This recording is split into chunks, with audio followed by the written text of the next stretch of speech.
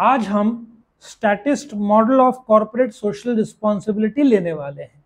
इसके जो पिछले मॉडल्स हैं ट्रस्टीशिप मॉडल या स्टेक होल्डर मॉडल या एथिक्स का जो मॉडल इस सब के अलग अलग वीडियोस मैंने बनाए आप डिस्क्रिप्शन में जाओगे तो आपको सब्जेक्ट का प्लेलिस्ट मिल जाएगा कॉरपोरेट सोशल रिस्पॉन्सिबिलिटी जहाँ पे आप सारे videos chapter by chapter question by question देख सकते हो। प्लस प्लेलिस्ट में आप जाओगे तो आपको दूसरे सब्जेक्ट के भी वीडियोस मिल जाएँगे तो आप वो भी देख सकते हो। चैनल को सब्सक्राइब किया तो आपको रेगुलर वीडियो अपडेट्स भी मिल जाएँगे।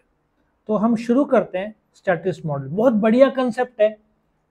और यदि आपको एग्ज़ाम में शॉर्ट नोट में आया स्टैटिस्ट मॉडल आप फेंक ही नहीं पाओगे, क्योंकि आपको स्टैटिस्ट एथिक्स मॉडल आप थोड़ा बहुत ऊपर नीचे करेंगे बट स्टैटिस्ट आपको स्टैटिस्टिकल वर्ड सुझेगा तो ये स्टैटिस्ट मॉडल एग्ज़ाम में आया ना तो ये कंसेप्ट जाने बगैर आप फेंक नहीं पाओगे। तो ये कंसेप्ट क्या हम समझते हैं। कॉर्पोरेट सोशल मॉडल या कॉर्पोरेट सोशल रिस्पॉन्सिबिलिटी का सेकेंड मॉडल फ़र्स्ट कौन सा था आज़ादी के पहले? ट्रस्टीशिप महात्मा गांधी ने जो दिया था। आज़ादी मिला अपने को fifteenth of August 1947 Jawaharlal Nehru अपने फ़र्स्ट प्राइम मिनिस्टर थे। अब जो इंडिया का मॉडल था वो जैसे सोशलिस्ट जो बोलते ना कि प्राइवेट तो था ही नहीं पैसा तो हमने सोशलिस्ट गवर्नमेंट ही कंपनीज़ फॉर्म करेगा और प्राइवेट को भी शामिल होने देगा। ऐसा मॉडल तब बना है। सोशलिस्ट मतलब गवर्नमेंट ने फॉर्म किया मिक्स मतलब प्राइवेट को भी शामिल होने दिया। अब ये मॉडल क्या हुआ? जब आज़ादी हुआ तो अपना बैंकिंग सिस्टम पूरा नोट कोई भी बैंक प्रिंट कर रहा था तो गवर्नमेंट ने आरबीआई को नेशनलाइज कर दिया इन द ईयर 1949 और एक्सक्लूसिवली करेंसी का ताकत आरबीआई को दिया। सारे बैंक जो उस समय प्रिंट कर सकते थे करेंसी सबका ताकत बंद करवा दिया। ठीक है?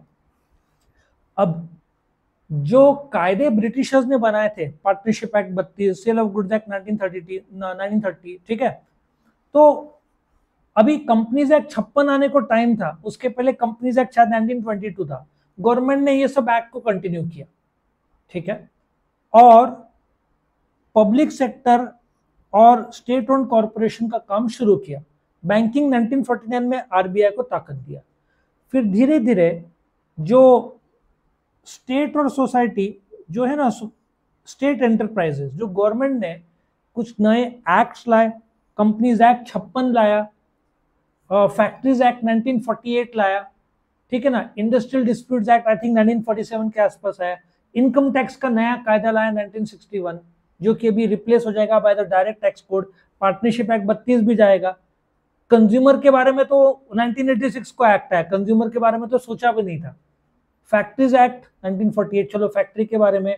Industrial dispute act workmen's compensation act wealth tax customs act 1957 so nineteen 1940s 50s और 60s में बहुत सारे फैक्ट्री के रिलेटेड और देश के लिए जो ज़रूरी एक्ट्स आए। कौन सा? पहला, लिखो चाहिए तो। फैक्ट्रीज एक्ट 1948 आया। ठीक है? इनकम टैक्स एक्ट 1961 आया। इंडस्ट्रियल डिस्प्यूट्स एक्ट उस टाइम में आया।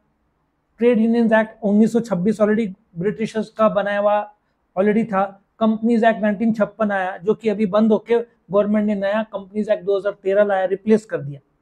क्योंकि कंपनीज़ एक्ट छप्पन बहुत पुराना थिंकिंग का था। पब्लिक सेक्टर आ गए। अभी आईसीआईसीआई को लागू कर दिया। ICICI act 55 it's statutory company की ज़रूरत है देश को। एसबीआई की ज़रूरत थी तो एसबीआई एक्ट 1955 पार्लियामेंट के थ्रू शुरू किया। आईडीबीआई एसबीआई आईसीआईसीआई आया समझ में? ये पार्लियामेंट के थ्रू शुरू किया। फिर कायदे लाए। धीरे धीरे बदलाव होना शुरू हुआ। फिर देखा जाए तो 1970 में व्हाइट रेवोल्यूशन आया। दूध का बढ़ोतरी किया।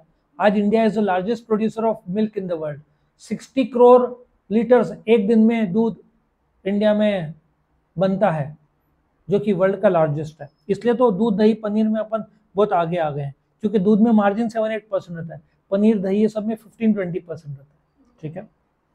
तो 1960 से 1980 में फट, बहुत बदलाव आए 1969 में 14 से कुछ बैंक्स नेशनलाइज कर दिए गए। बैंक्स की ज़रूरत थी तो वो बढ़ा दिया गया, ठीक है? फिर वाइट रेवोल्यूशन आया, तभी इंदिरा गांधी की गवर्नमेंट थी, ठीक है? सो इन लाल बहादुर शास्त्री का भी रोल वहाँ पे हुआ। तो statist model of C S R ये क्या है? ये एक ऐसा इन्वेस्टमेंट की बात करता है, जो कंपनी के पास प्रॉफिट बचता है आफ्टर टैक्स रिडक्शन मतलब ये एक ऐसा जवाबदारी है, जो आप स्टेक होल्डर के तरफ़ निभाते हो, और गवर्नमेंट का, जिसमें गवर्नमेंट खुद के कंपनी शुरू करता है जो कि पब्लिक सेक्टर है। और मिक्स सेक्टर की चलो प्राइवेट को भी आने दो। लेकिन ये इतना डीप चला गया कि बीएसएनएल ही था, पूरे देश में एम दिल्ली और मुंबई में था। तो जब प्राइवेट प्लेयर्स आए, जिसमें वोडाफोन पहले था, उस समय ए बोलते थे, फिर धीरे धीरे दूसरे आए तो आज बीएसएनएल कोई भाव देता नहीं है। हिंदुस्तान एम्बेसडर या LIC उसका दबदबा कायम है। एयर इंडिया को बेचना पड़ा क्योंकि जेट एयरवेज दूसरे जो प्राइवेट आए वो कम्पीट नहीं कर पाए। सो so, धीरे धीरे गवर्नमेंट ने ये सबको सपोर्ट दिया। सो फंक्शनिंग जो है defining the function the function of defining जो सी एस आर डिस्प्लेज आपका जो रिस्पॉन्सिबिलिटी है कॉरपोरेट का सस्टेनेंस आप टिकने चाहिए क्योंकि हिंदुस्तान मोटर्स बंद हो गए ठीक है? आज एप्पल में डेढ़ लाख, तीन कंपनीज़ एप्पल भी जाने दो। रिलायंस में एक लाख से ज़्यादा लोग काम करते हैं, ठीक है?